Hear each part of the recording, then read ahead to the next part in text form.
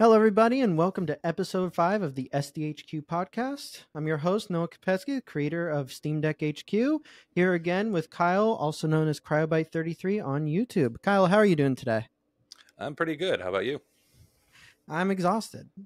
I I got more sleep recently because our daughter is staying with uh, her grandmother, my wife's mother, but we've just been like sleeping all day, and it's made me more exhausted so it doesn't feel like I've recovered at all. But overall, it's been it's been a good time. Been playing some awesome games.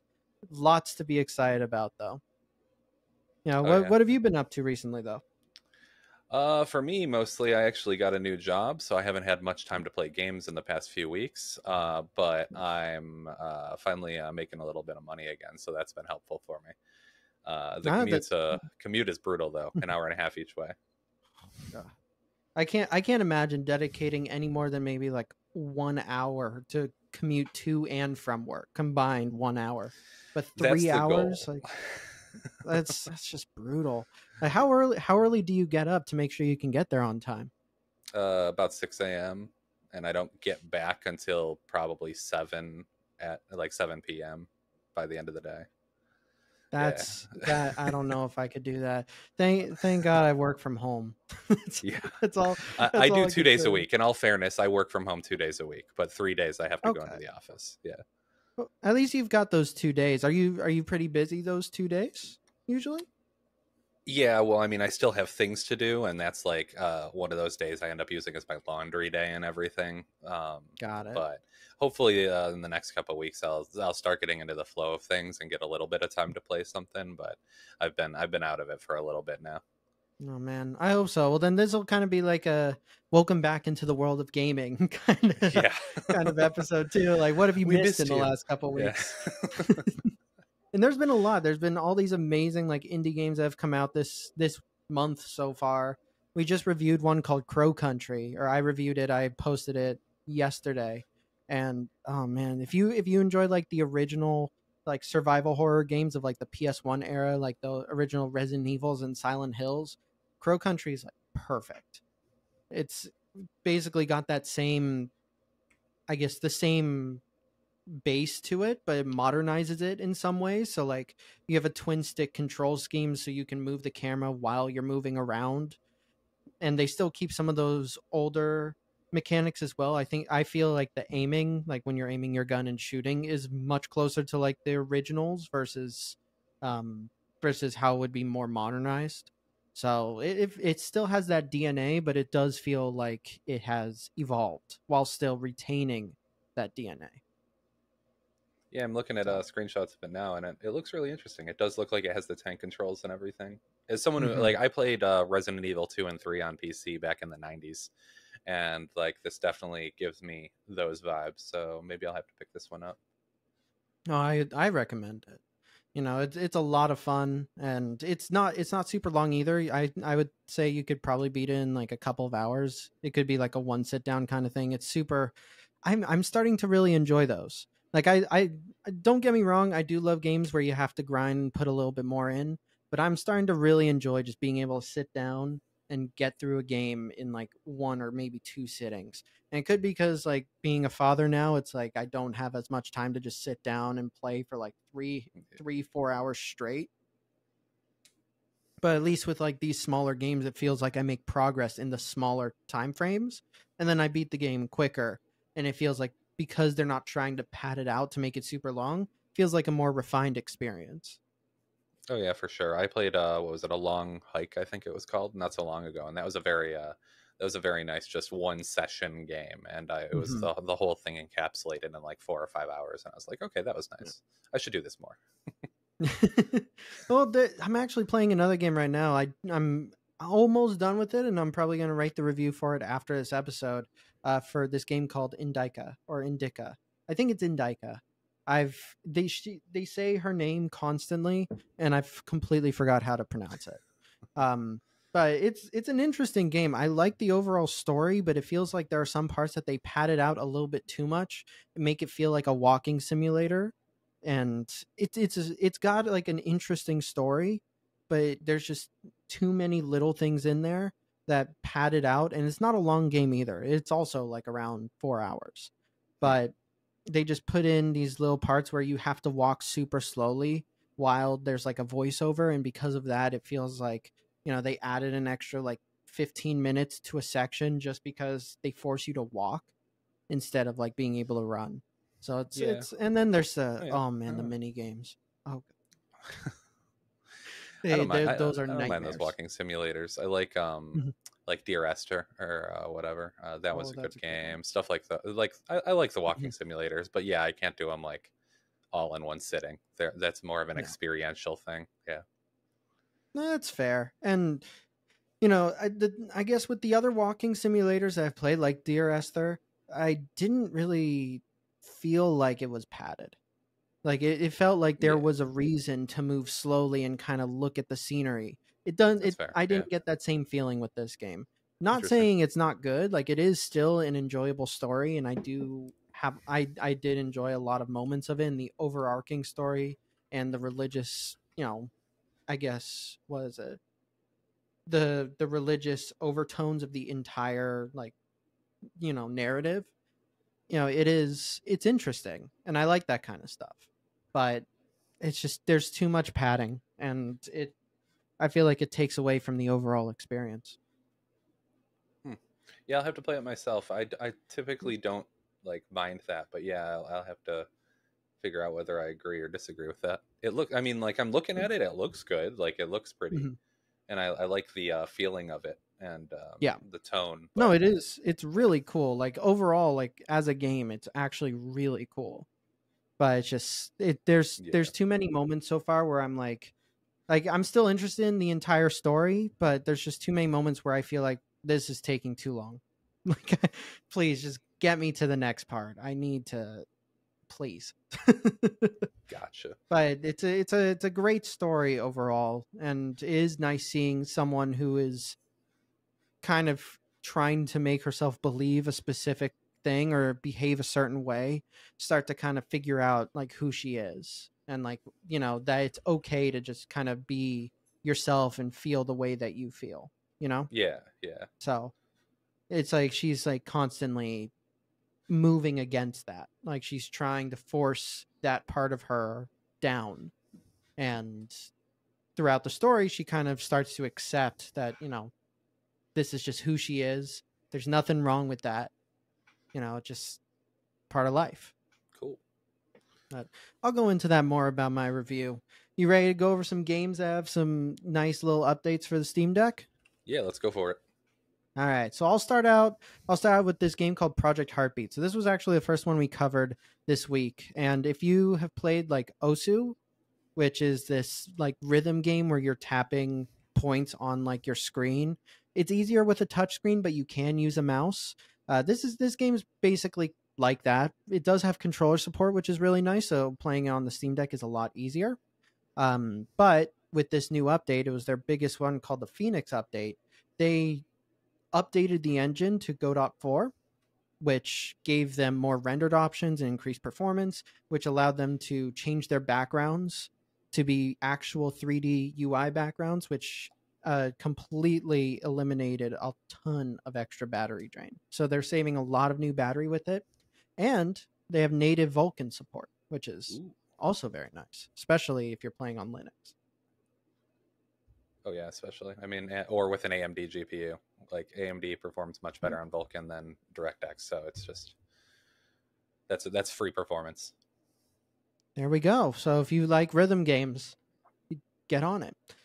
Um, uh, the other one that actually just happened recently, uh, I think it was like two days ago, maybe, is this game called Heading Out, which is a narrative driven um, or a narrative focused uh, roguelike. It's all about driving. So you're driving from one part of the country to the other. Uh, there's racing elements, there's the roguelike elements where you have to uh, pick certain decisions, which all have an overarching narrative to it. And it's a really cool game and it runs pretty decently on the Steam Deck. But their newest update actually gets rid of all of the graphical settings. So you cannot change any settings at all. You're locked to the medium settings, which they work if you're playing at 30, but 40 FPS feels so much better. And we recommended going a little bit lower than medium for that. So now, you know, kind of have to play at 30. Um, you can use a launch option though. If you use a lot, if you go into the preferences for the game in the general tab, scroll down and type in Steam Deck equals zero and then parentheses command parentheses, you can trick the game into thinking that it's not on a Steam Deck, and you'll be able to get the uh, the launch options back Quick, or the uh, graphical quick, settings back. quick point. Uh, not parentheses, percentage signs. I was close. I, I I was it started with a P, so I got that. It did. it's a symbol with a P. Just try them all. I was almost there. no, it's fine, dude. Um, but yeah, I mean, after that, uh, let's uh, head into uh, the probably the biggest name on this list this week would be uh, Ghost of Tsushima. Um, I haven't played it on PC yet, but I've I've seen a lot of content on it and everything. Um, I I completed this game on uh, PS4 Pro back when it came out and everything, and it's a gorgeous game. So I'm really excited to play it on PC when I have some time. Um, but yeah, this week it got a uh, big update for uh, adding uh, better FSR3 support and dynamic resolution scaling and how they intermingle together. Uh, to my understanding, it removes like some of the screen door effect and the motion artifacting and small, um, like small f- details like in the distance or whatever. So I'm uh, I'm hoping that it, it cleans up the uh, the graphical fidelity a little bit, especially on smaller screens, because you're going to need those settings on something yeah. like a Steam Deck. Um, and hopefully, it just helps us get to the maybe like the 40 FPS a little easier while keeping good fidelity. Mhm. And it, it's it's performing extremely well on the Steam Deck. Like when you when you get the chance to actually start playing it, it's going to be well worth it. It's so it plays so well. And I'm I mean I'm not completely shocked because this is Nixxes, so you know they they're known for a reason. But no, it's still I still find it astounding how well it runs so far. Um, still working on our review of it on our end. There's just so much to go through, and we if we're gonna release a you know review with definitive settings, we recommend we have to play through the entire thing. So it, it for some games it takes a while, and this is one of those games where we also have so much else like so much else to cover right now where it takes a little bit. But amazing game, and I and I am confident that it's going to be really great on the Steam Deck all throughout. Yeah. Um, moving on over to a survival game. I remember seeing this game last year. It's called Nightingale, which is a really unique looking survival game that has some like it's it it's got a very specific aesthetic to it and it's hard to describe it at least for me. It's it makes me think of steampunk, but I don't think it is steampunk. But it makes me think of it every time I see it.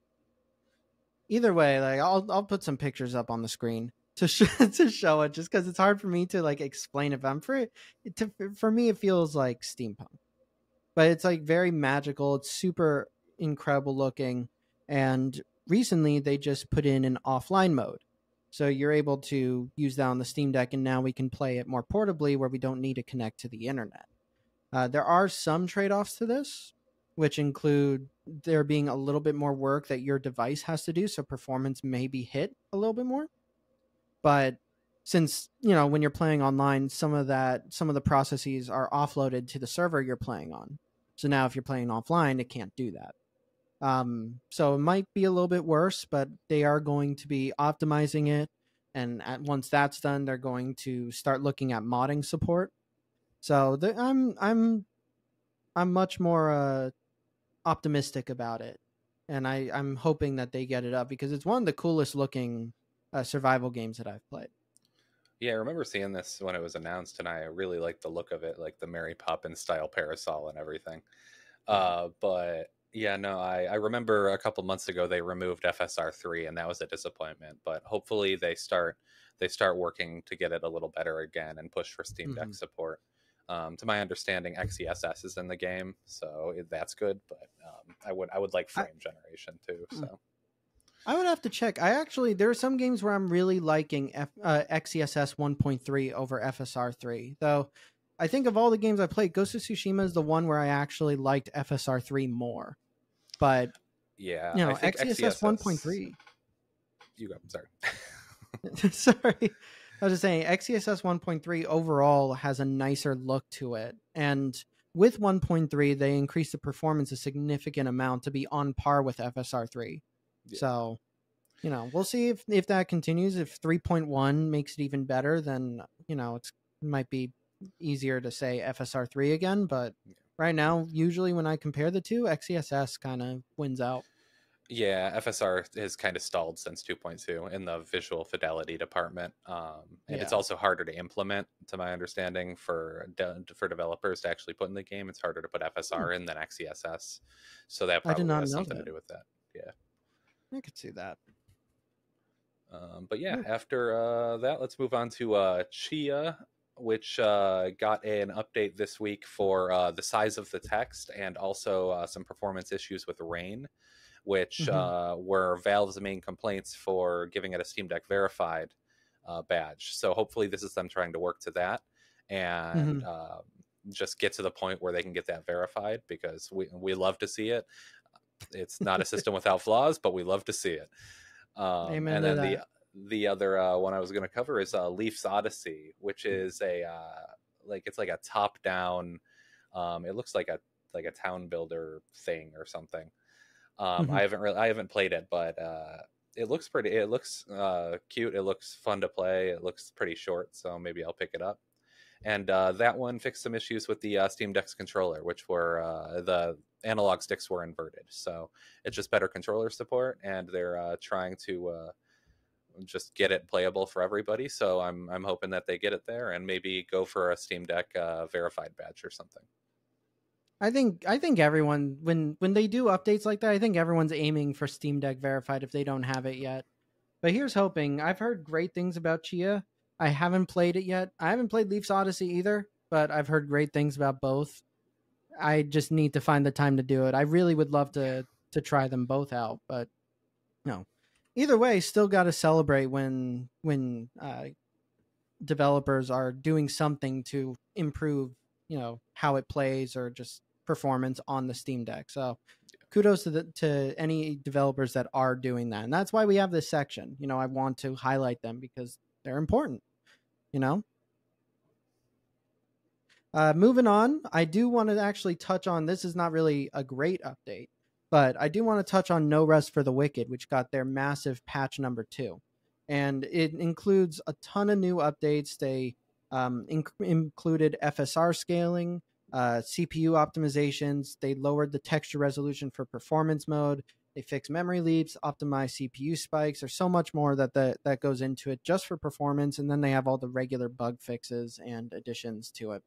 Uh, but one of the big ones that they added in is that they specifically added optimized memory budgets for the Steam Deck. And unfortunately, it doesn't seem like it did much. And I was a little bit sad since I since they were kind of hyping it up and I was super excited to see it and I remember getting in and I'm just like, well, this is worse. like I'm encountering more spikes than I expected and I think there was someone on Twitter or X that actually said that the area they were in was a little bit better. But unfortunately, in the areas I was testing, it was either much worse or it was just extremely slow to load in the world. I actually have a picture on our article that we wrote about it where I'm standing on a bridge, but the bridge hasn't loaded in yet. And I that happened to me on SteamOS 3.5, the stable branch, and 3.7 because I tested on all three 3.5, 6, and 7. And there was just almost no improvements. They all really played around the same. So that was a little bit disappointing. Yeah. Well, at least they're trying to work on it um, Yeah. and get it there for the Steam Deck. They're aware of the issues, I'm sure. So it, Mhm. it, it's nice to have them looking at it. But yeah, let's let's hope that they do a little more vetting next time.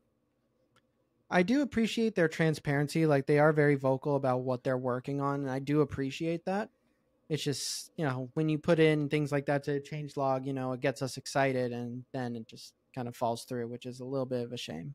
Yeah. So here's hoping that they are working on it. I'm sure they are, but no, they they've they've been working hard. You can tell just in everything that they've kind of included in the in the patch logs. So hopefully they continue with that.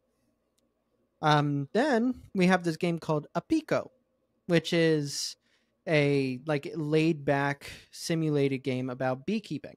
It's all very it's very adorable, it's pixelated, got good controller support and in the newest update, they just had their last update which was massive and in it they unlocked the modding menu for the Steam Deck. So now I, I'm not sure if you were able to mod before, but now with a mod menu enabled, it should be much easier to mod.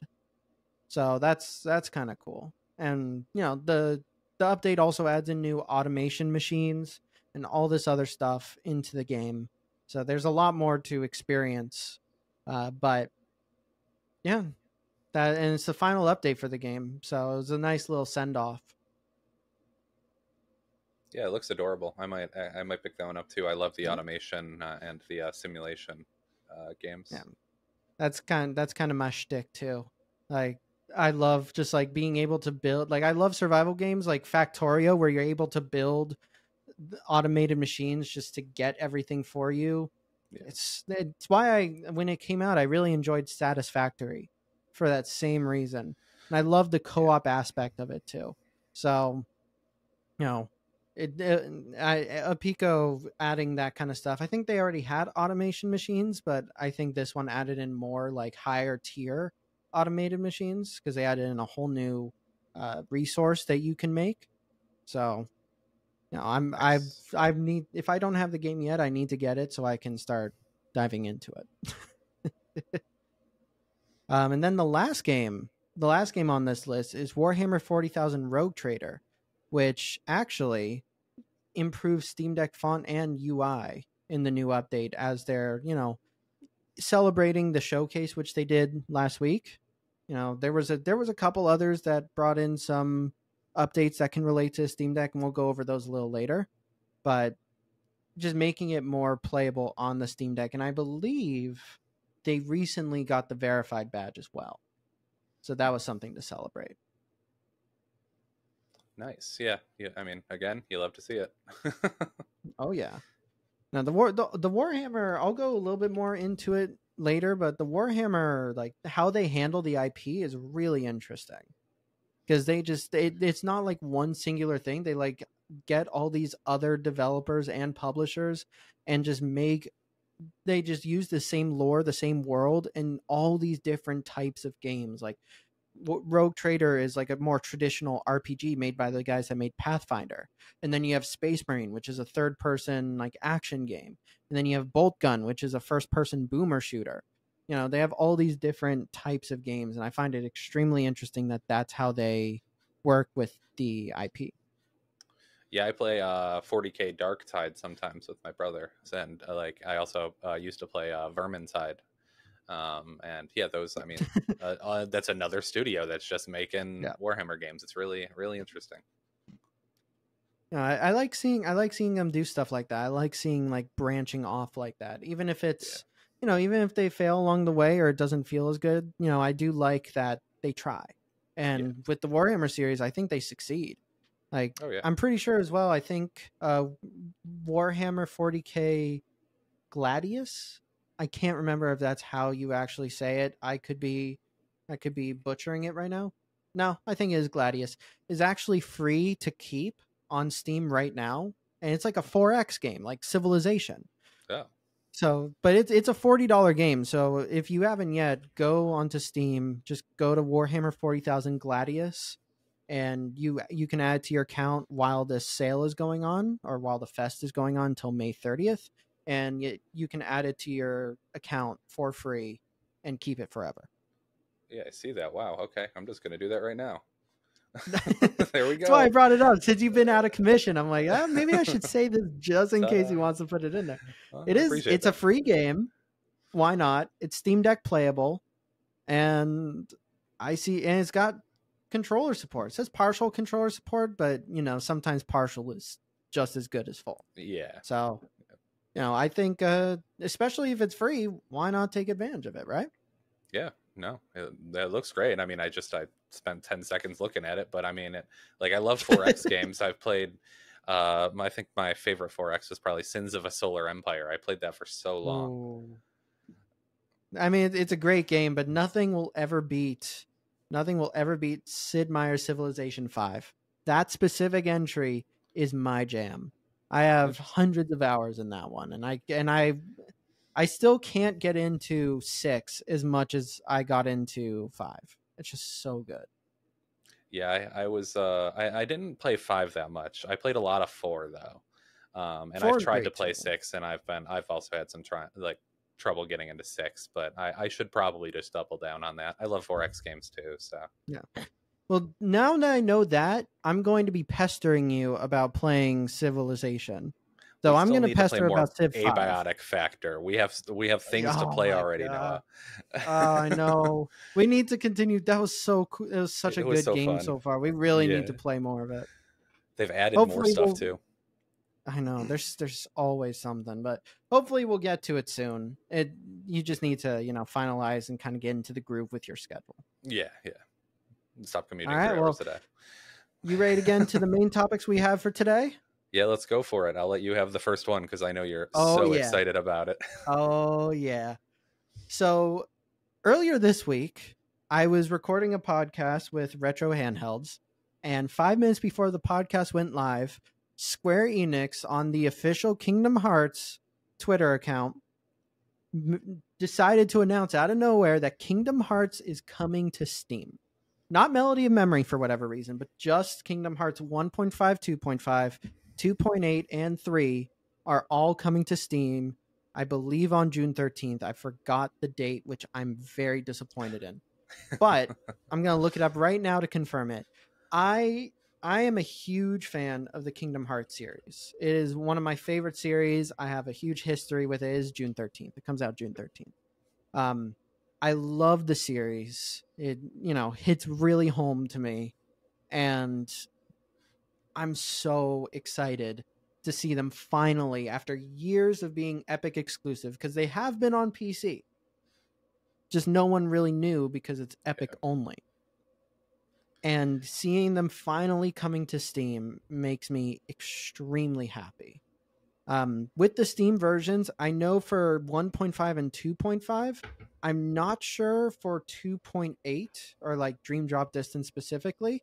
I'll check for that right now. Uh, looks like it for Dream Drop Distance uh, as well. But 1.5, 2.5, and Dream Drop Distance are all getting uh, better upscaled uh, or enhanced background textures Ooh, throughout okay. the entirety of those games. So that's something that's exclusive to the Steam version. Whereas for Kingdom Hearts 3 is going to have an exclusive Keyblade that you can only get from from playing on Steam. The the Keyblade's called The Dead of Night. Hmm.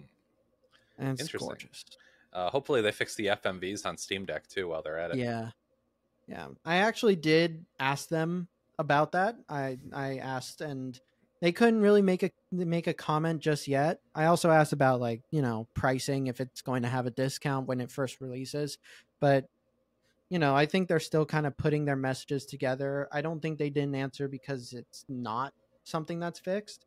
I think it's just something that they're just putting everything together. Maybe they want to do their own formal announcement, but you know, it should be so much easier to play it on the Steam Deck now, Oh, just yeah. being on Steam. Like it, uh, it immediately makes the two guides I wrote null and void because it's like, why, why even bother? Yeah, I and would, I I'm genuinely just shocked that it came to came to Steam at all, since I haven't really seen, you know, exclusive de- exclusive deals that last longer than one year. You know, I unless it's like permanently. maybe maybe they're just realizing that Steam is clearly like the option. Like, I mean, it's Mhm. There, there's just uh like a quality of life that most other places don't have. I mean, I love uh, GOG for the DRM free and everything, but like if you release to Steam, like here for instance, like number one, it's easier to install on everything, but also Mhm. Steam Deck. Um, it you'll get the benefits of the shader cache on the Steam Deck, which is something you didn't have before. So now you're gonna have better performance just out of the box and much better discoverability. So like it's just it's free money for them basically to just throw it on Steam. I mean, they're adding extra stuff too, which is even better. But they could have just literally ported it over and everybody would have been fine with it. yeah i i think so i you want to know what i think it is that kind of convinced them recently they uh, reported their um, their finances and like how how much money they've made or did not make, and they did not make that much. They actually lost. I think it was like around seventy percent of their revenue. And Yeah. one of the things that they mentioned is that they're going to reinvest. They're going to stop doing platform exclusive and do multi-platform releases. And they mentioned PC specifically. They don't mention like Steam versus Epic, but they mentioned PC.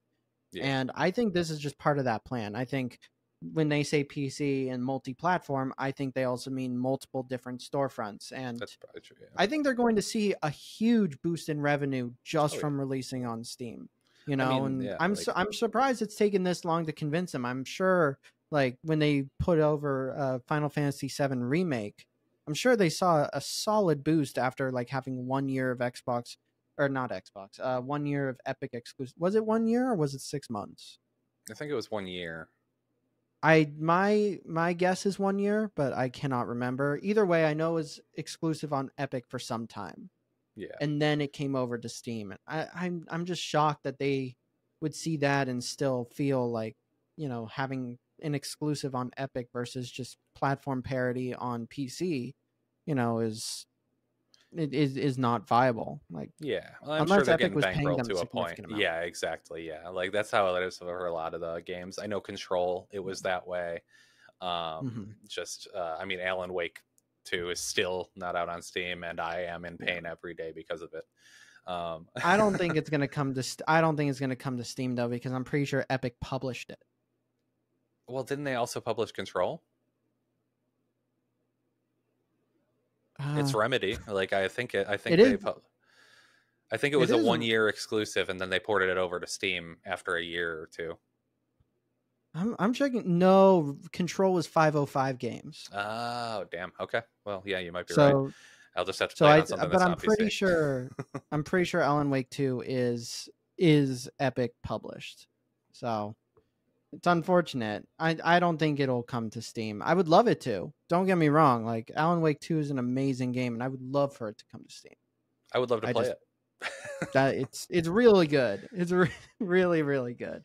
But you know, just seeing seeing Kingdom Hearts kind of make its way to Steam, you know, made me extremely happy. I cannot say that enough. It just it was so so cool seeing that announcement finally. And I've been I again, one of my favorite series. It's like one it's like the series that got me into gaming in general. Yeah. Like I was kind of doing it. It was fun and then I played Kingdom Hearts and I was like, "Whoa. This is peak gaming." obviously everyone's got their own definition of it but for me when i was oh, man when did kingdom hearts come out it was like 2005 Yeah, it was solidly into the PS2's lifespan. It might have been 04. I want to say it was 04 for some reason. i'm looking it up right now because i clearly don't remember oh no we were both wrong it was 2002 um Oh, i thought it was i thought it was a little bit later I I never really got into it, so that's my excuse. What's yours, Noah? uh, my excuse is at that time i was six so You were six That's in 2000. Oh man, I'm older. I'm I'm a decent amount older than you. That's that's sad to me. What? Why is that sad? Do I just come off like an old man? Because No, I, just I, I just had I just had a notion that we were similar in age, and you're like three or four years younger than me. Yeah. To be honest, funny enough, of everyone that works like on Steam Deck HQ, like our writers, the people on the back end, I'm still the youngest. Like it, I, I just think that's funny that like I'm still the youngest of everyone working there, and and all the people that we've met, like content creators, I I believe I'm still the youngest out of all of them too. Maybe not high tech low life. I don't know his age. He might be younger than me. Yeah, I have no idea. I But think everyone I'm, else I'm, is- I'm younger than most, which is why it was surprising to me that you are younger than me. Well, I, I aim to I aim to surprise. But yeah, I I started Kingdom Hearts when I was six, so it, it may might have been seven. I don't know if I got it on like release day, but I remember playing and I was just blown away by the game. It was so much fun for being six or seven. You know, button mashing to hell and back. It was great. You know, it was Disney. It was you know all these lights, and it was a big story about friendship. How can you not like that? I still need So- to get into it. I wasn't I wasn't big into it at the time, and I've uh, I mean I've since completed Kingdom Hearts one, but um, Mhm. and I I enjoy the story and everything. Uh, the gameplay is hit or miss for me, but I'm gonna keep trying to get into it. Damn it! I'm surprised you have not played two because Kingdom I've Kingdom Hearts it. one is good, but two is so much better. I've played it, and I I just like. I, I think it's the combat style for me. It's just like it doesn't hit mm-hmm. for me, and I I think I don't know if I need to focus on it more or it's just never going to hit. But I'm going to keep trying. I will at It's least okay. bash my head against it until it's done. Well, uh, now that it's coming to Steam, I'm going to be even more like pushy to you specifically. That's fair. Like That's fair. You're you're gonna see like a message like every day or every other day, just be like, "Hey, where are you at in Kingdom Hearts? hey, send, are you playing Kingdom Hearts? Send a picture. I'd love to see. Need No, any sorry, tips? I've played all of them about five times. Oh man, but I'm I'm very excited, and hopefully this this will make it significantly easier to play on the Steam Deck. And I believe that Square knows about the issues with like the cutscenes, so hopefully they are working on those issues, and they are going to fix it for the Steam release because this is the perfect time to do it. I mean, they're doing graphical enhancements, so going over to like going going going over to also fix the cutscenes. I mean, doesn't seem like it's extremely far out of their way if they're already manipulating little bits of it here and there. yeah, yeah. So, and that would be nice because with these cutscene issues, we can't play or watch uh, like 358 over two days, uh, Re:coded or uh, back cover on 2.8. Yeah. So, it'd be nice to be able to utilize those. But, you know, looking forward to it. It's going to come out June 13th and I'm I'm praying I'm praying that we are able to review it because it would be a dream come true. And it would be one of the easiest games for me to review because not only have I played them on Epic, so I know around what performance is going to be, but I've played through all the games. So I know how I know where the spots are that like might be a little bit heavier. And also I just love the games. I'm going to be a very it's going to be a very biased review unfortunately because I I love the games and I can't I can't let someone else review it. These are this is my bread and butter. At least you But own up on to to it. the next. Uh, hmm? I said at least you own up to it. Yeah. Hey, look, I I'm you know I'm very upfront with my bias. I know. Uh, but on to the next topic. Do you want to enter in this one? Because I'll I'll say my piece later. But you're the one that brought this up originally. So Yeah, yeah, I sent this over to you a couple days ago whenever I saw the Yeah. news. Um it was uh IGN Entertainment, which is obviously the company that owns IGN. And they ended up purchasing a whole bunch of uh other games news outlets. So like Eurogamer, GI, VG247, Rock Paper Shotgun, uh let's see. And it looks like oh, and Dicebreaker is another one. Yeah. and then they Um, hold shares in like Digital Foundry and Hookshot, which operates like Nintendo Life, Push Square, Pure Xbox, Time Extension, out, and then there's Outside Xbox. It's it's a lot. Yep, and they already owned uh, Map Genie. I'm not sure what that is. Uh, How Long to Beat? I didn't know they owned that, and I use that I did- service. I'm sh- I'm shocked that they own How Long to Be. I knew they owned Yeah. Humble Bundle. I knew Yeah, that same, one. yeah. I did not know they knew they had How Long to Beat. That Yeah. one is is new to me. And like, I mean, I I'm not a big fan of like IGN, like actual IGN.com reviews. Like, I I tend to Mhm. not agree with their takes, um, which is neither here nor there. But um, I just don't like more corporate consolidation. I Yeah. don't know. Uh, it just it seems like one player holds too many cards in the game, especially for journalism, which like needs to be independent in order to be Yeah. impartial and just make sure that everything kind of balances out. Um, I mean, like it might not affect anything, but now I'm going to have to think twice if Eurogamer gives something the, a similar score to IGN. I'm going to be like, wait a 2nd is that because they're working together on this? Like, I, I don't know anymore. And that just leads to less trust in all the brands, unfortunately. It it uh, it plants a seed of doubt. Yeah, exactly. you yeah. it's it's it's something that uh, being a journalist myself like i you know do have strong feelings for this and like you know, I don't want to say that it will compromise the integrity of some of these sites, but it's also like you said, there's that seed of doubt there. It'd be like, well, Yeah. you know, did IGN do anything about this? Like, have they kind of dipped their hand in anything? Um, and I think it's showing a little bit already because when they did acquire these publications, uh, they already found some redundancies and fired or laid off some incredible reporters. I actually didn't know No. that. That's that. I mean, Yeah. I expected it because that's just the norm for these corporate consolidations, unfortunately. Yeah. But that's it's sad to see that it has already happened. Like or hear that. Yeah. I I remember when when this happened and the day of and I remember seeing it and I can't remember who it was, but it was someone that actually worked at uh game industry or gamesindustry.biz or GI. Uh and he'd been working there and he helped bring it up for like 15 years and he was he was laid off.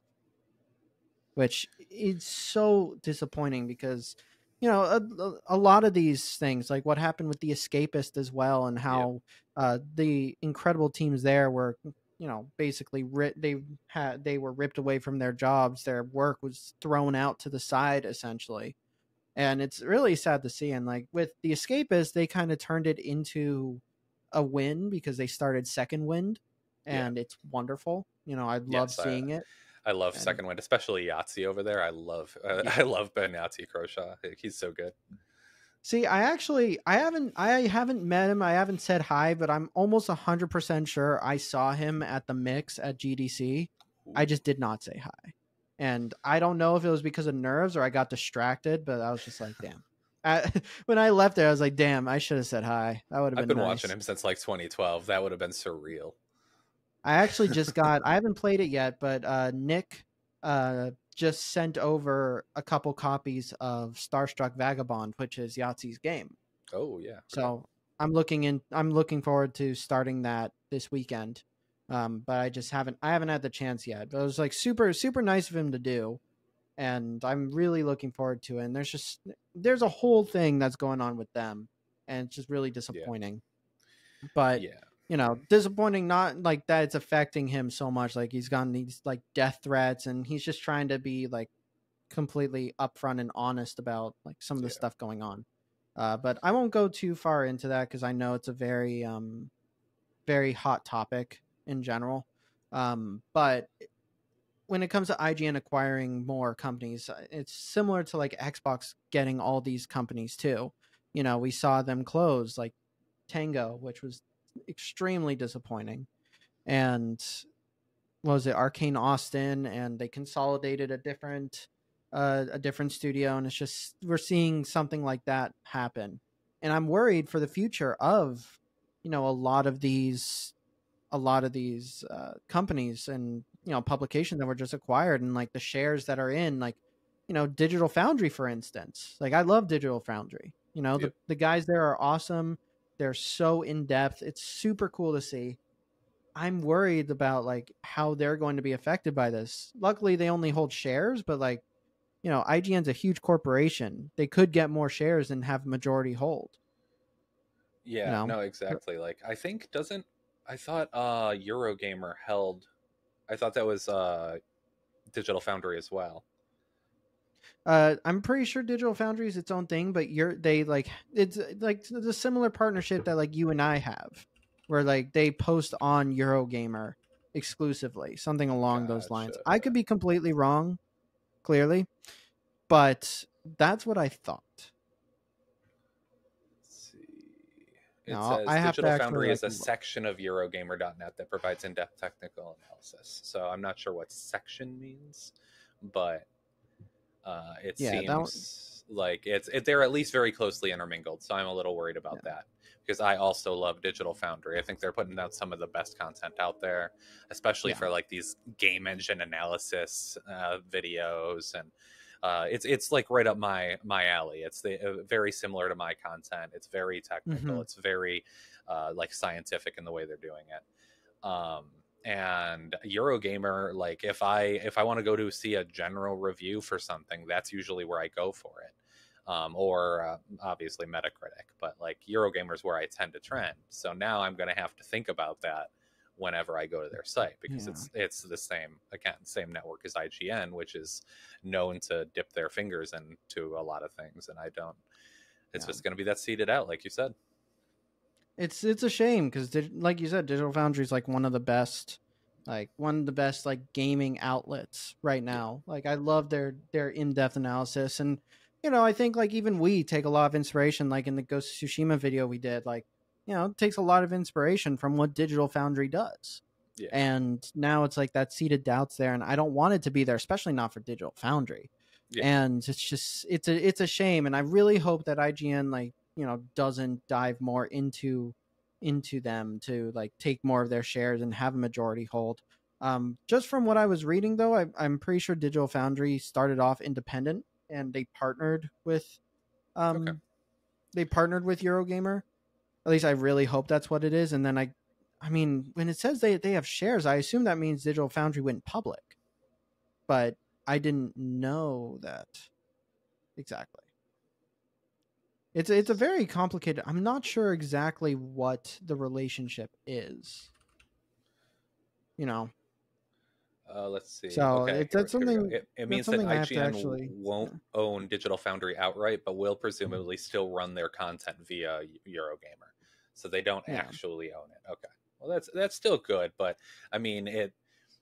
It might have the same outcome if they just don't want to publish something because uh, Digital Foundry like says their piece for something for some reason or something. Then that could still end up being curation and thus Yeah. steering their content. I'm I'm hoping it doesn't come to that, but like I don't know. It's just it, that's something you have to ask with these corporate consolidations. Like like yes, I want to trust these people, and like they have given me no reason to distrust them yet, but. It's just Mhm. it's hard when so much one player holds so much sway over the whole industry. This is like Yeah. half of the bigger uh, uh, news outlets now is owned by one company. It's it's a little bit it's a little bit scary. Yeah. Just in general, just it it it, it worries me on a larger scale. And it's like one of the reasons like I wrote a whole article recently about how we're proudly still independent and we're going to stay that way. Um so that was just I, I I just went into like an appreciation article cuz I know right now especially with all the changes with Google, AI and uh, encroaching like big corporations that now like like IGN holds all these all these outlets now you know which probably means if they like are able to pay to get like better treatment on Google or something like that that means all of these all these companies are going to be able to benefit from that whereas like you know the independent outlets are not going to be able to Yeah. so you know we are still alive thanks to you know the community you know and it's amazing and we couldn't appreciate like you guys more like it's it's amazing being able to survive. Um it is why we're starting to look more into video content you know we have a couple more videos in the in the i guess in the background like that we're working on. It takes us a little bit longer because we're just not used to it and i also have no time to edit. So you know we we're looking into getting some editors and know we have we have a couple that we're talking to right now but it's it you know we're trying to diversify because i think it's just going to be significantly harder for us to survive otherwise. And it's sad Yeah. that we have to do something like that just to survive but you know that's that's just what we got to do right now.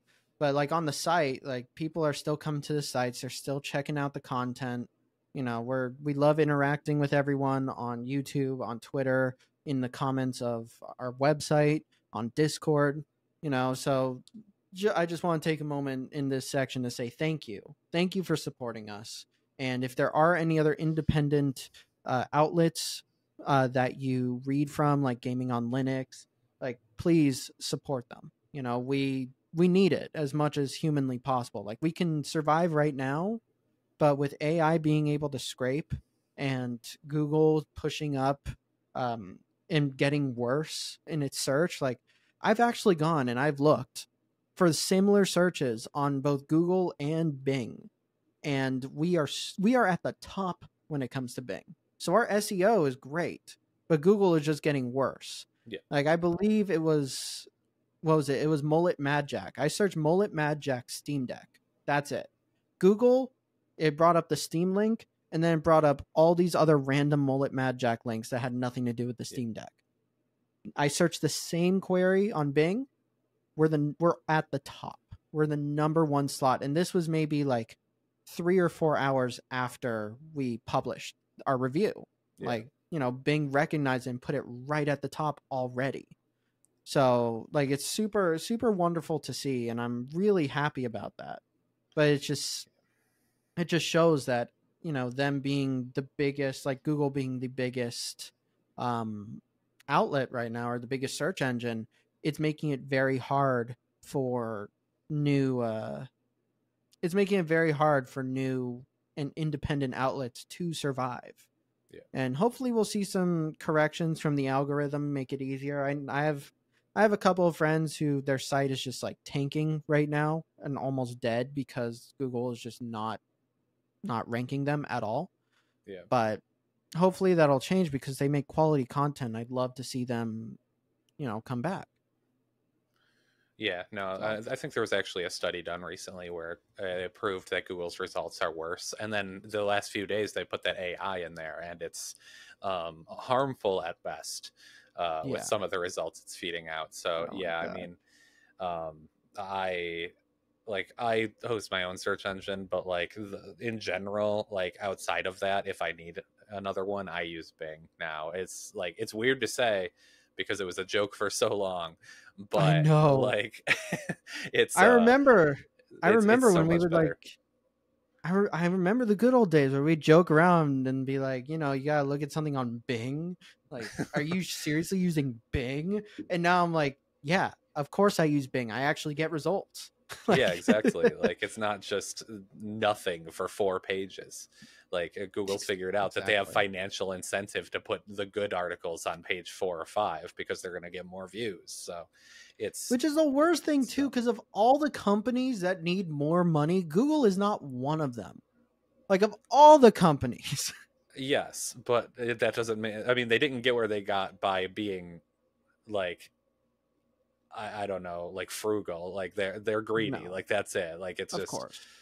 uh, when you get to a certain scale that's all you can chase and like i'm not blaming anybody at google ex- except for maybe the like uh, c levels or something but Yeah. like it, it's it, at a certain scale it just becomes completely profit driven so it, it like it makes sense and if there's no legislation for it then it, there's no reason for uh, no incentive for them to not do that so they'll just go hog wild and it, we're i think we're reaching a critical mass where people are starting to realize that but um I did uh what was it? I did read an article on The Verge where they interviewed the CEO of Google. And that was just really interesting because they specifically brought up, you know, independent sites are like, uh, we don't want these changes. And it seemed like he was trying to justify and try to say like this was more in regards to the AI, but they, he was trying to like say that like, oh, the AI actually, you know, increases you know traffic it increases clicks we've seen it. And then the interviewer asked if we could see the data and information he just downplayed it completely. He's like well if people want it you know maybe we could do something but like it just seemed like he was just trying to continually say that oh the data's here Yeah. other people are saying the data's here but we won't release the data. So no one else can verify that. Well and they I also think don't want people to know how much data they have oh yeah it's like Which straight up tons. creepy how much they have. Like if you use Chrome, like you're you're done, bud. Like I mean, Yeah. they have uh, like all your data. So I don't know.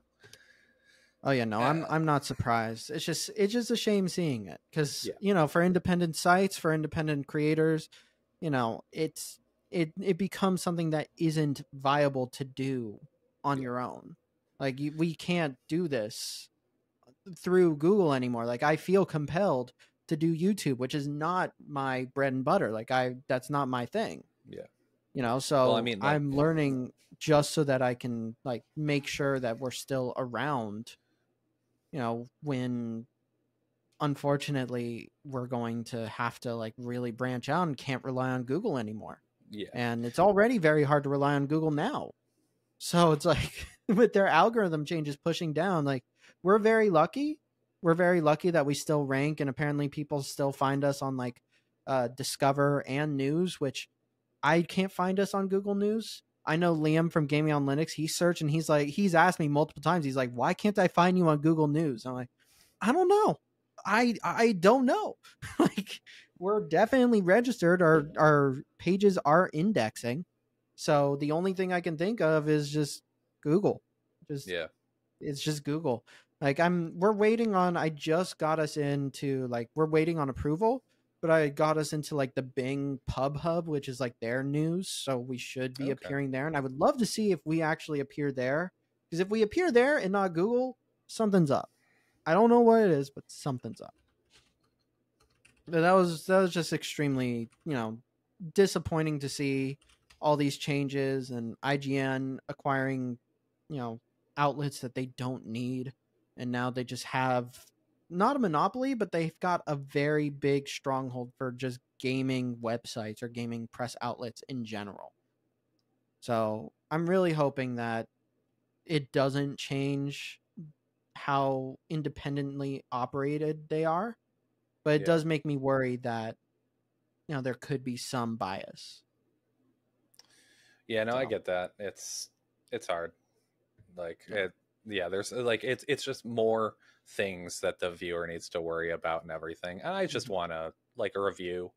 I'm not asking for like health care here. I'm just like, hey, I just want to know how good this game is. Like but it's like I mean when I want when I need to spend 60 bucks on a new game or something, I want to make sure my purchase goes somewhere that I like actually want it to. And it's Yeah. just it's just removing like just that layer of confidence that I had by checking four sites. I'm going to get four different opinions. Hmm So- Now, if you check the four sites that you might regularly frequent, they might all have similar opinions, and then you might think, well, maybe it's just skewed. Exactly. You know, yeah, you're going to yeah. have that in the back of your mind. Maybe it isn't. You know, just because IGN acquired these doesn't mean that they're going to be Yeah. like skewed, but you'll never know a hundred percent because IGN owns all of them. Yeah. Well, I mean, historically, they all have, they have all had a, a variance based on the reviewers' preferences and everything else. But Mhm. Like, if they start to consolidate and get closer together, that's just going to be like, okay, well, that's kind of weird. So It already is. it's already very, very scary. And I, I really do hope that everything it I really do hope they stay independent enough to not not have these biases that are very clear. But there's no way that the seed of doubt is going to be completely eliminated from my Yeah. mind.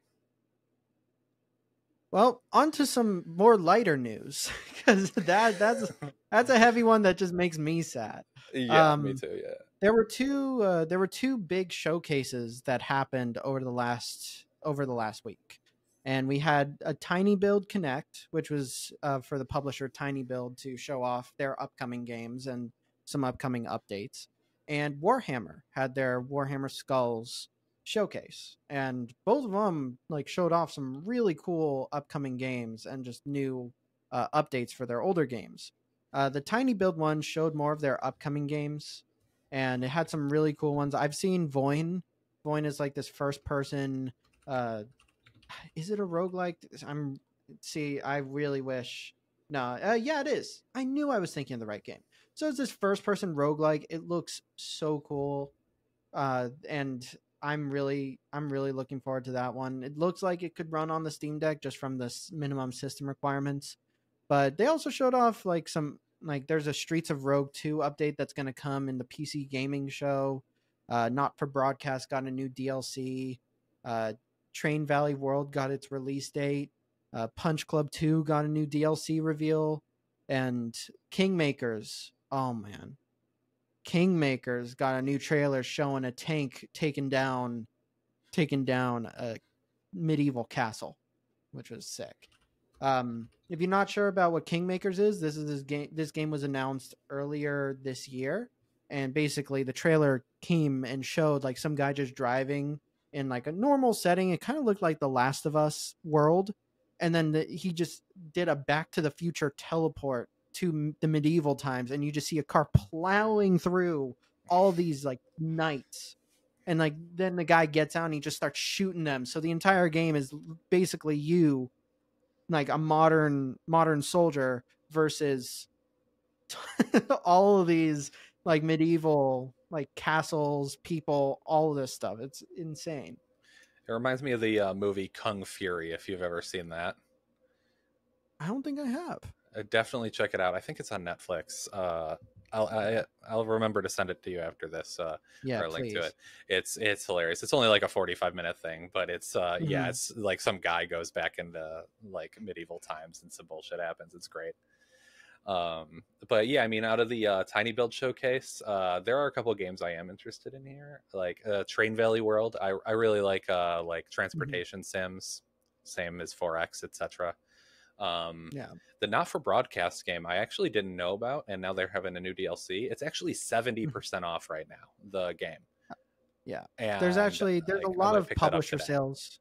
No, there's a lot of publisher sales. We actually just posted an article with all the publisher sales happening right now. Uh, there's some that end on the 27th. So TinyBuild is not like the sales for like Train or not Train Valley. Uh, for for any of their games, like not for broadcast, are going are not going to be on sale on like Monday when we post this podcast. So unfortunately, there's some that aren't going to be around. But like, you know, it's it's a great for all the patrons watching. It's a really great deal, and like Streets of Rogue is like my one of my favorite TinyBuild games. So that one, like, I'm so excited for number two. And then there's Tinykin, which I'm super excited for, or not excited for. That's out. It's a great deal. I was looking at Duckside, which cra- really crazy looking game. Basically, it's like DayZ or Rust, but you're a duck. Yeah, I'm seeing that. that's the pitch. This- I I kind of love it. It's it's definitely a meme game. It's like a totally accurate game, but like Yeah. I, I'm watching the trailer for it right now, and it looks it looks like it would be a great game to play with a couple of friends, just like just Yeah. a late night, just like yeah, let's go blow some shit up as ducks. I actually, I just, uh, I got an email about it recently about possibly uh, participating in a beta. So I'm really hoping, I'm really hoping I get the chance to because that would be so cool. that would be funny. Like yeah. it, it looks, and the looking at the like requirements for it looks like it could run on the Steam Deck. It might be 30 frames per second or like 40 because it, uh, I GPU wise, it's it's asking for a nine a GTX 960, but I don't know. I think I think it could be a good Steam Deck game. I think it I could. really it like, and it could be like something for those Rust fans out there. Since uh, uh, Rust, I don't think you can play on Steam Deck. I think the anti cheat No, doesn't work. You can yeah. play like alone, but no, the Yeah. anti cheat isn't configured to, So and it's easy anti cheat, so they could bring it over. Yeah, but- yeah. I, I know that the the main developer for Rust has some strong feelings on that, so I won't get into that Mhm. here. But yeah, I mean, like if this if this doesn't have the same problem, then this could scratch your itch on the go, like when you're or plays with Yeah. friends at a cafe or something. I don't know. Um, it'd be funny to play this in public. Right. Um, and I'm also one last one last game from that showcase that I'm really looking forward to is this game called Sand, and it reminded me of Sand Land, which just came out from uh, Bandai Namco last month. And Yeah, I think it was about a month ago, it's, yeah. I think it was last month. Uh, really cool game. I really liked it. Uh, it felt a little bit, a little bit uh, generic in the open world, but the graphics are beautiful. The story is tight, and I really like the vehicle gameplay. Like just any in any combat with the vehicle felt really nice. yeah. Um, but Sand, it just it looks like an open world, you know, a regular open world survival game. But I really like the aesthetic to it, and I do like that it takes place like on the desert. It kind of gives me like a steampunk vibe to it as well. It's it's super cool. I already like you can request access to like be in the playtest. I don't think they've started it yet, but they're going to have a playtest for it, so you can actually go and apply to it on Steam right now. And I already did. I put in my my playtest thing. So Nice, yeah. I'm I'm hoping I get in it because I would love to test it on the Steam Deck. But that one, you know, that requirement is a GTX 760, so that's an even lower uh, GPU requirement. Yeah, you could probably get Though a it- 45 or higher off of that. Yeah. Though oddly enough, I've I've I usually when I see memory requirements, it's usually like eight gigabytes, sixteen gigabytes. I've even seen twelve sometimes. This one is ten, which it should be fine on the Steam Deck, but it's Yeah. just an odd for me. It's an odd number to see.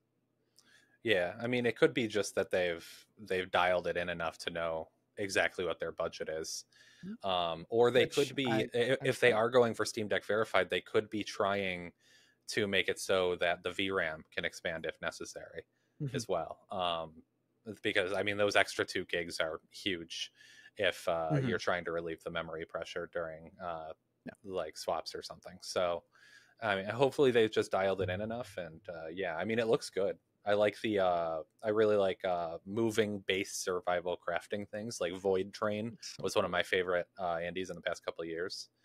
Uh, Mhm. So I would, I would definitely check out Sand when it uh, pops up a beta. It says summer 2024, so hopefully soon. Yeah. here's here's hoping like it is it's super cool to see but one of the other like the other showcase actually had me pretty excited too so the warhammer showcase happened as well and for this one we got some new we got some more details about like space marine 2's multiplayer modes which it's going to have three different modes from what i know there's going to be the like three player campaign there's the three player co-op mode called operations where you have classes that you can upgrade and customize and then you have a six versus six PvP mode called Eternal War, and that's really cool too. I'm from what I can tell, spa- I think I feel Space Marine Two is going to run on the Steam Deck. I have a feeling because Focus Entertainment is publishing, and they I know like I've talked to them, they do test their games on the Steam Deck on like a publisher level. So I I'm I have a feeling that Space Marine 2 is going to be at least 30 frames per second, which that's going to be nuts. Um but on top of that, they like they announced the open beta for their like twisted uh vehicle combat game called Speed Freaks. It reminds me of the Twisted series. Is that what it's Twisted called? Metal? Am I Twisted Metal. yeah, I keep forgetting the metal part. I just keep calling it twisted.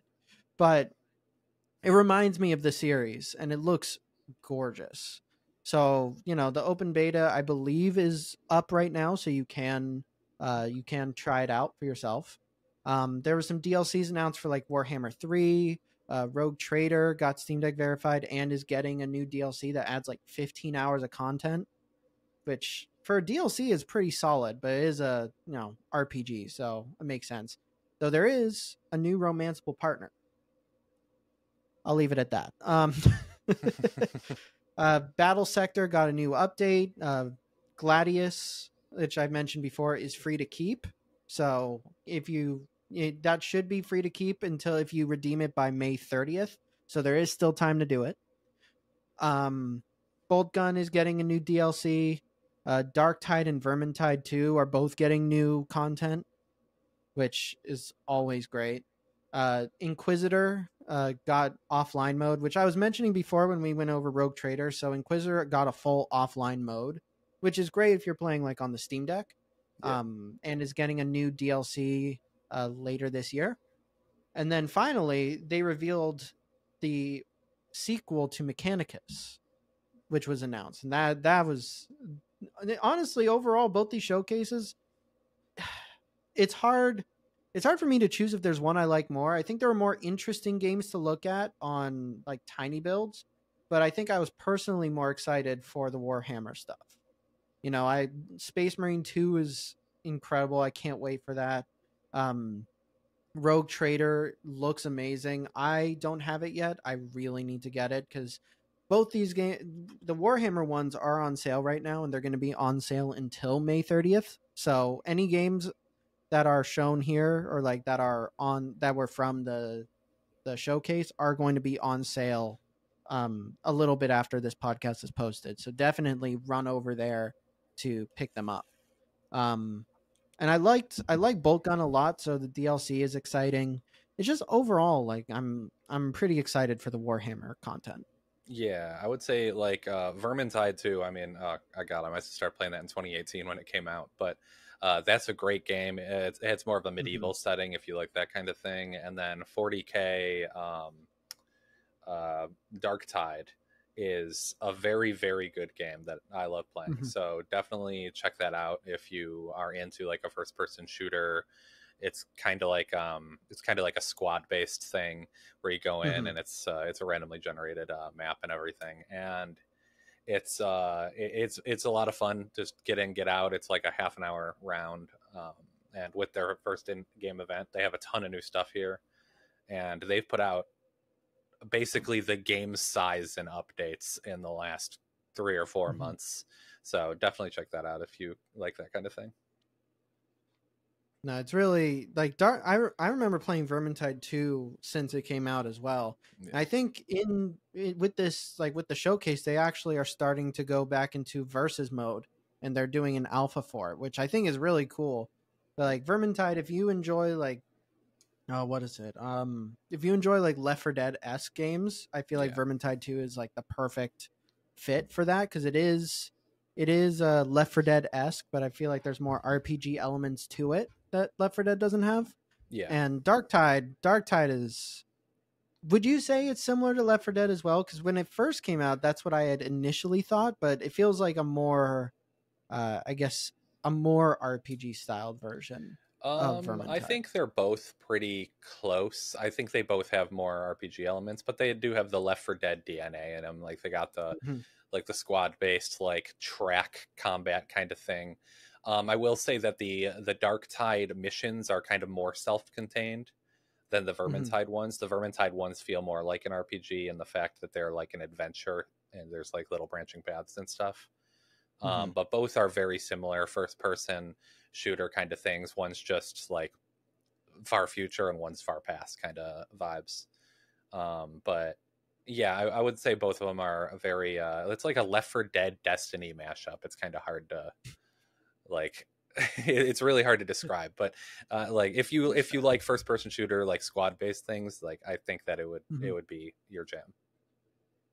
And and you know, I believe Vermintide 2 can run all right on the Steam Deck, though it does have some anti-cheat issues. It is it's still playable. Multiplayer is still playable on the Steam Deck, but you have to I believe the person on the Steam Deck has to host. Um Interesting. Okay. but it's been a while. Maybe they've updated it. But it's on a great sale. 80% off for Vermintide 2 is for at like six bucks is a great deal. Uh, Darktide, I believe they've had updates to make it more playable on the Steam Deck, but I have not gone back to check it out again, which I really need to do because I love the concept behind it. Um, but like, what is it? A lot of their games are on sale right now. Like Boltgun is on 35% off. I really liked playing it on the Steam Deck. Uh, Inquisitor is on sale for like 80% off. So that might be a great way to, you know, get into it before off or I think offline mode's in now. So, you know, great way to get into it and experience it in offline, which is exciting. Um, I might I don't have Inquisitor yet, but I do see a definitive edition right here and it's 80% off. It's only 18 bucks. I might have I might not be able to help myself. I think I'm going to have to do it. And I'm going to try to get you to get it too because there is online co-op. So, I'll keep that in mind. I'm working on it. I'll work on it. there's so many there's so many cool games. I know it's going to it's it's hard. Yeah. Yeah, there's a lot Um, there's a lot coming out this year. It's it's just like last year. It's just Yeah. like constant good stuff.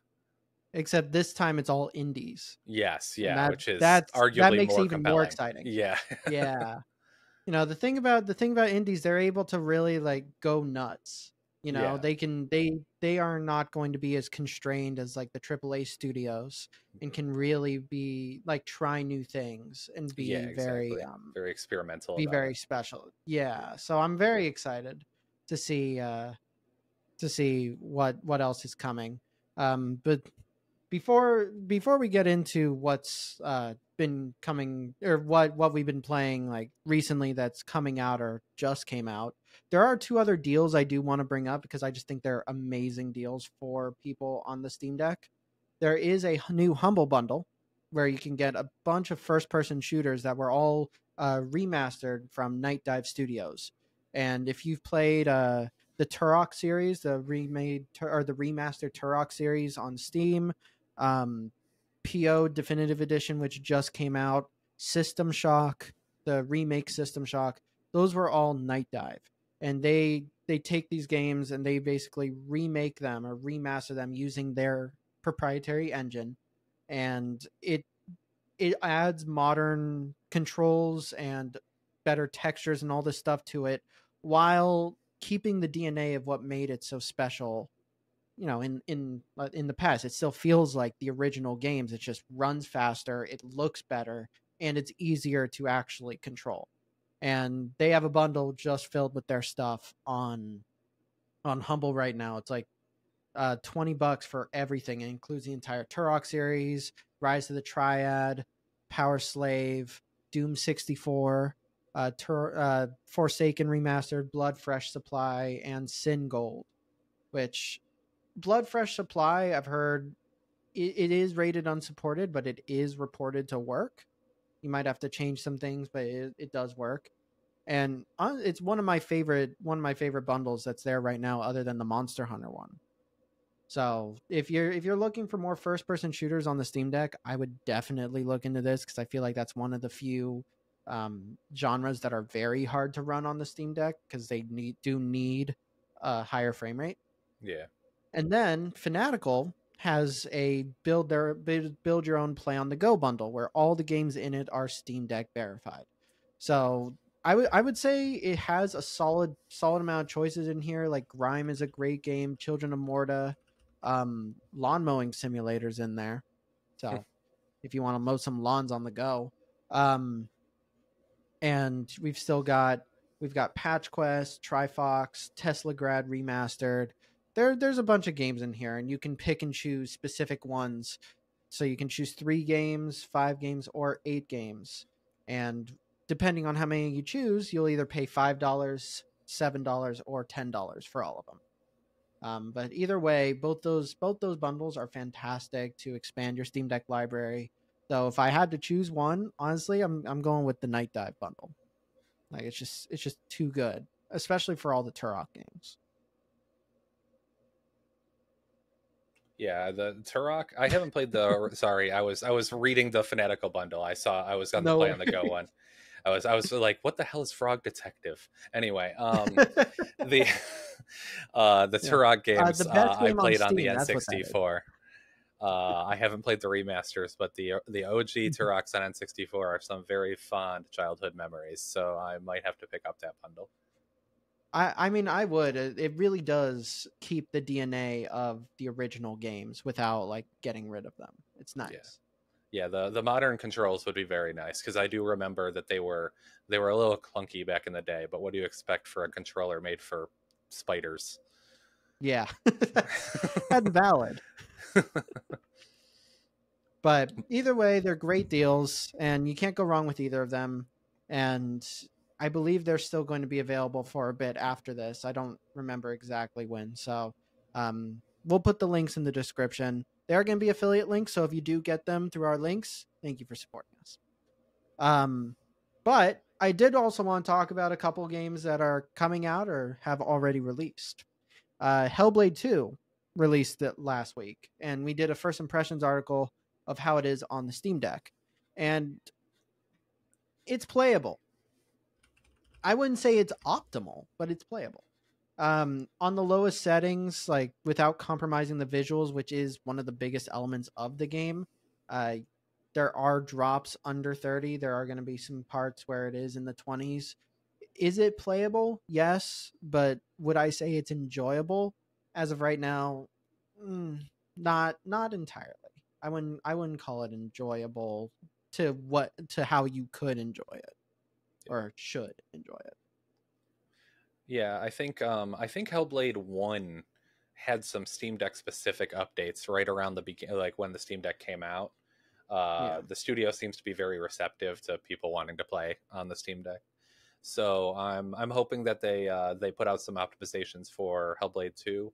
Uh, does it have Mhm. FSR or anything yet? FSR three. It does. It has FSR and XeSS. Does it have frame gen? Uh, not I, I believe it does, but it does not on Steam Deck. Oh, okay. Well, um, I've not seen I've not seen a, a developer implementation of frame generation on the Steam Deck that works.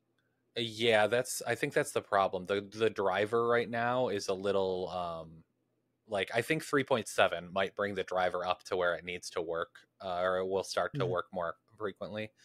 Um honestly, I've had the best luck with the frame generation mods like LukeFZ's Yeah. and um uh what's the other one? Uh PureDark's uh Hmm. like uh FSR3 mods. Those work basically every time I try them.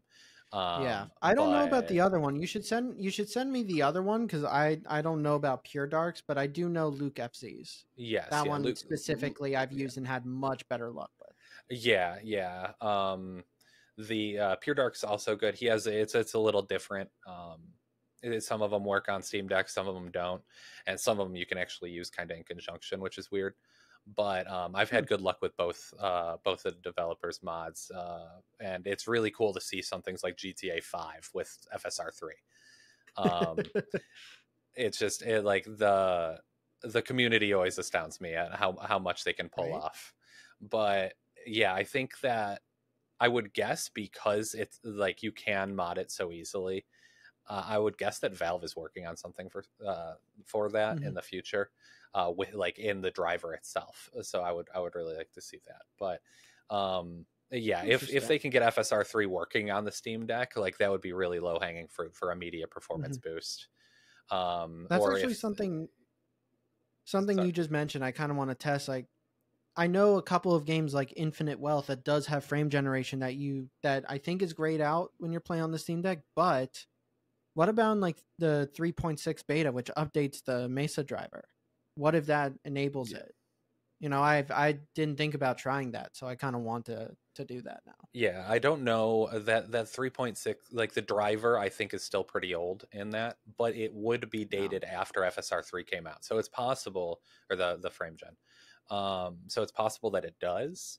I wouldn't Mhm. expect it to be wholly OS integrated until like 3.7 though.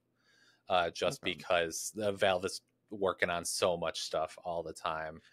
Yeah, It's just it's insane how many things they're contributing, especially to Linux as a whole. Like I mean, Mhm. GameScope itself is just an insanely ambitious project, and yeah, I mean, it's the entire the entirety of what they're doing, like Proton, Steam OS itself, GameScope, just I I think they are single handedly making Linux a gaming operating system now. yeah, which like, I'm insanely glad for, especially with all the new Microsoft uh, recall and everything that they're. Are you excited for Copilot or what? I'm so excited to have my screen screenshot every three seconds. Just I can't believe I can't I don't know how they thought that would be a good idea. Like what is it that convinced them that like you know what people would love? They would love us to watch and monitor their stuff all the time.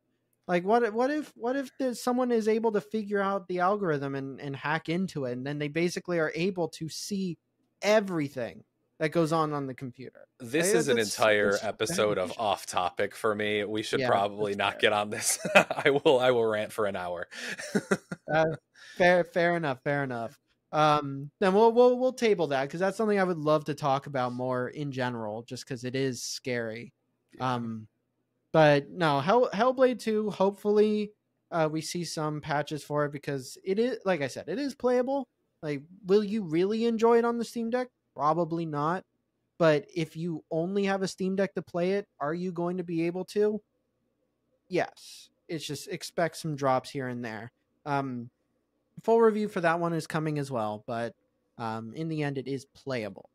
Um, the other game I want to touch on, which I can't say too much of just yet, but I can like talk about it since I, you know, I'm allowed to, is the Rogue Prince of Persia, which comes out in two days on the 27th, on when this podcast drops, and it is great to play on the Steam Deck.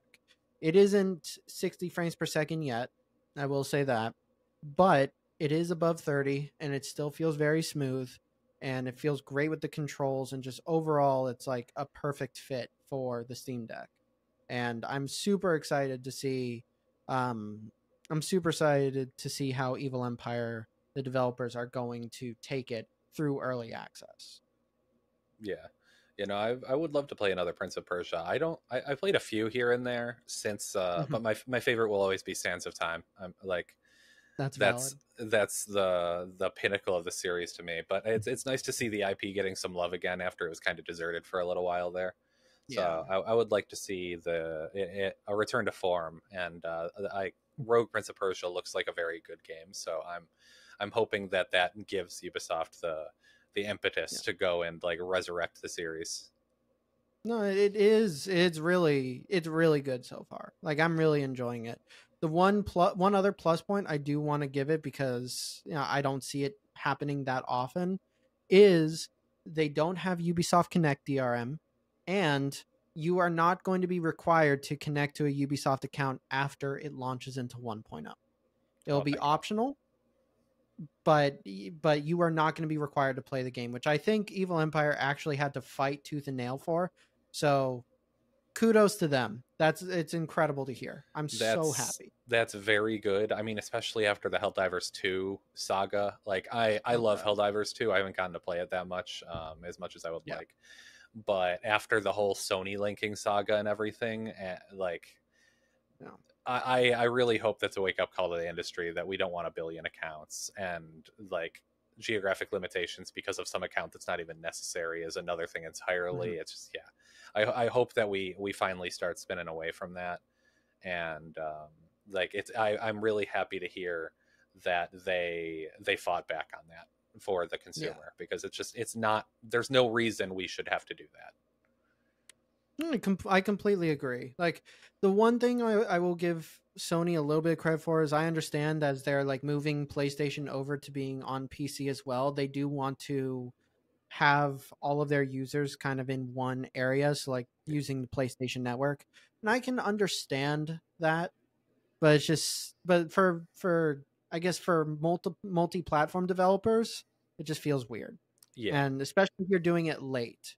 So like, you know, that's basically what Sony did with Helldivers 2 and while they planned to have it in in the beginning, you know, technical issues stopped them from doing it. yeah So, and they didn't make it very clear. I I would say exactly, it wasn't yeah. clear enough. i didn't actually know at all like i mean i Yeah. i do a lot of research into things and it was like hidden in a footnote of a footnote i had no idea and It was yeah very it was very hard to see. and like I I like Sony games. I have a PS5. Like I enjoy Mhm. Sony a lot more or PlayStation more than Xbox and everything. But like Yeah. I do not want a Sony account affiliated with anything more than it needs to be. The Sony Mhm. is about the least secure digital company I know. Like they've I been hacked so many. more times in the past decade than I've had jobs, and that's there's a decent amount of those. So like, it's it's it's pretty scary with how uh, how uh, shoddy their security is. So I do not want to attach everything to that account. I will attach exactly what I need to and nothing more. Mhm. So That's that's completely valid. I'm shocked that they haven't upgraded it further to you know, based on how many attacks that they get. Like how is it still like is it just because they're a prime target so more people try? Which means, you know, maybe they do have decent security, but just more people try because they're a high like I guess high tiered I target. don't know. I, I've read the, the like the breaches and everything. They're not particularly complex or anything. It's just Oh, yeah no it's just it, they're just not up to snuff on their security and like there's like fine like whatever work on it but don't force people to use the accounts if you uh, don't have it up to up to Yeah. par no, that's a, it's it's a little bit ridiculous. Um, but Rogue Prince of Persia come it's going to be coming out on May 27th, which if you're watching on YouTube or, you know, not on Patreon, that's today. Uh, if you're watching it on Patreon, it's in a couple days. Uh, but I do recommend it. It's a lot of fun. Feels like the Prince of Persia game that I've always wanted. Um, no, not not saying like the 3D Prince of Persia's were bad, but this one feels more like a classic Prince of Persia game because it's all 2D and it just fits so well into roguelike. You know, they did a, and you know, Evil Empire did like the Dead Cells DLC, so they have a lot of experience with this type of game. So, no, very much looking forward to it. Um, or looking forward to seeing what people say of it. I'm playing it right now, so. Uh, the last thing I want to touch on actually is uh, we had the chance to ask a couple questions to um, the developer Evening Star, which made the game Penny's Big Breakaway, which is a 3D platformer made by the the studio that formed uh, that after they made uh, Sonic Mania, which is by far one of the best Sonic games to release in modern times. So they made their own like 3D platformer, which feels a little bit more like um like a faster version of Super Mario Odyssey. Okay. You know, because there's you can do more tricks, and there are there are multiple ways to to get from one place to the other using like you know aerial tricks. So you can throw a yo-yo out and you can swing on it, so you go back and forth and swing. Um, you can dash in the air. You know, there's there's a lot that you can do to progress through the level, and you can find like little tricks here and there to cut corners and like you know take seconds off your time. I love that kind of stuff. So, uh, really great game. And we had the chance to ask them a couple of questions about how they optimize the game. And when I say optimize, it, this is a fully 3D game that, yeah, it's not super detailed, but it is insane how well it runs at these frame rates. For a fully 3D game to run at 90 frames per second and stay usually below 10 watts of battery drain, that's that's insane to me.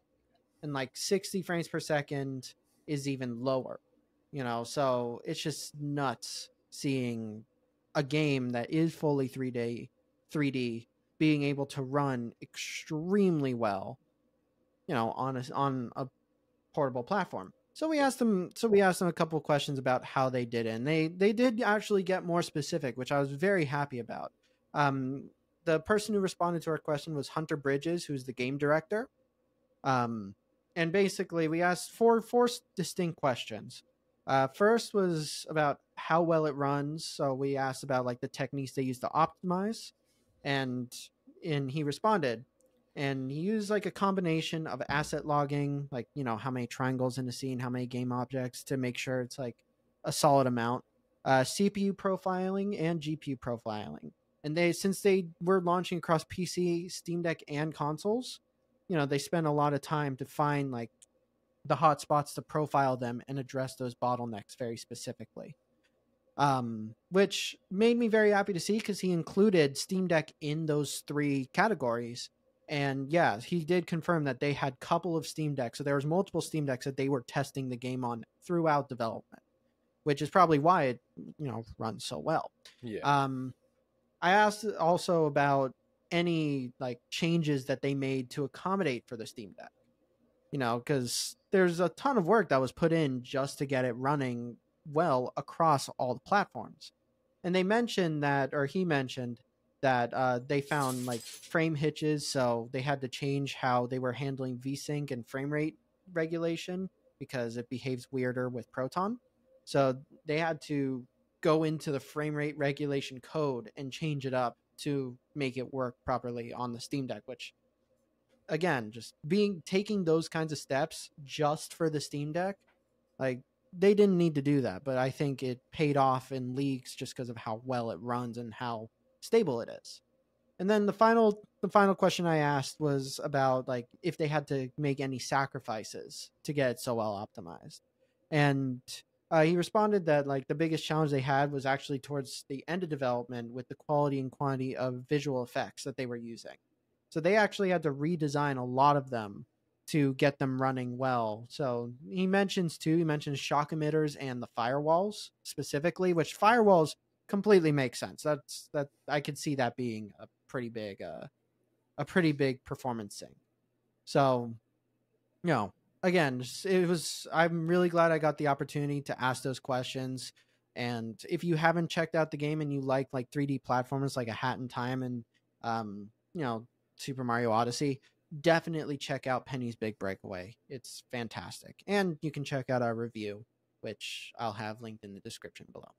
Yeah, it's been on my wish list for a while now, uh, especially because of the developers. Like they did make Sonic Mania, and yeah. it shows how much they love gaming with uh, all the effort they put into testing it, and yeah, even recreating assets and stuff. Instead of just slapping like, "Oh, this runs at 60 FPS now," on on it, they actually took mm-hmm. the time to optimize it because they really love the product they are putting out and you can feel that and like i think that that's something that's missing in the games industry at, at large right now uh, a lot of indie mm-hmm. studios are that way which is very nice but it's just like the, the industry as a whole has moved away from that and turned it into more of a product than a, a work of art and i think yeah. that they uh, like uh, just the love and care they put into it is going to speak volumes and like i'm going to buy it because of that like I might like I I like 3D platformers. They're not my favorite, but the fact mm-hmm. that they put so much work into it means that I'm going to buy it just to experience it.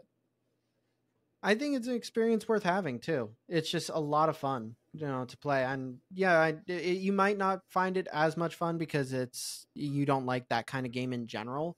Yeah. But there there's a lot of beauty to the simplicity of it. And I just and I do love, you know, I was expecting like knowing their background, I was expecting more of a Sonic-esque platformer, but I'm really glad they went to more of a Super Mario Odyssey where it's more about the technicality of how you combine what you can do in the game versus just getting from one point to the other as fast as possible. Yeah. So I'm glad they went like the Super Mario Odyssey route, and I think it it just speaks leagues like you know the technicality of what you can do in the game. Like I, I found like these shortcuts that I was able to take. Like I skipped like entire large segments of the game just because I combined dashing and flinging myself along with like being able to shoot myself up when I like force myself to like drop down to the ground as fast as possible and ride my yo-yo to gain speed. You know, it's like it's like when Mario Odyssey you turn into a ball and Yeah, you just yeah. keep rolling and you go off a ramp and then you throw your hat and like jump onto it. You know, it's that same kind of thing, but instead I'm on a yo-yo, go off it. I then take the I then throw the yo-yo out and I swing on it and it uses the force like how fast I'm going to shoot myself up. So I do that and then as soon as I start to lose steam, I do a dash at the end and I there, you can skip large segments because of that. It's just it's just so cool That's you know awesome. Yeah. what you can do and i love tho- those kinds of games so i'm really glad they went that direction and honestly it's just a wonder how well it runs on the steam deck so definitely an essential to the library i would say Love to see it. it's okay i, I do as well um i think i think that's gonna wrap up wrap up our topics for for this episode though um is there any anything else you wanted to add before we sign off Uh, I don't think so. I think we touched on everything. we did touch on everything. So, uh, thank you guys so much for watching, and we hope you we hope you enjoyed the episode. Um, if you are watching on YouTube uh, or Spotify, Amazon Music, or Apple Podcasts, please follow or subscribe or like the video. Uh, or if you haven't yet, go ahead and rate our podcast on any of those. You know, we like five stars, but honest, uh, be honest, leave comments. We do read them, we do look for them, and we do want to improve. Um, but thank you guys so much for watching or listening. Yeah. Thank you all for uh, being here. And uh, you can shut up, Noah, because I have three seconds of latency because you're on the other side of the world. Uh, It's true. I am. um, so, yeah, thank you all for uh, being here. And uh, yeah, give us any honest feedback. And uh, yeah, I guess uh, we'll see you next time. we'll see you guys in next week. Bye.